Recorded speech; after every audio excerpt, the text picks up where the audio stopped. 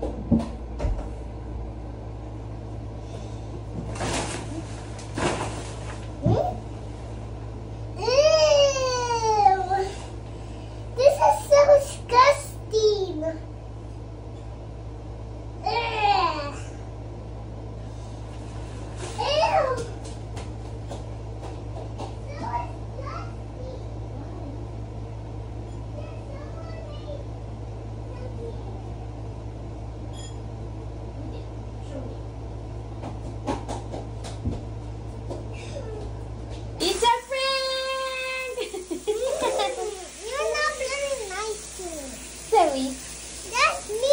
i And me is mad.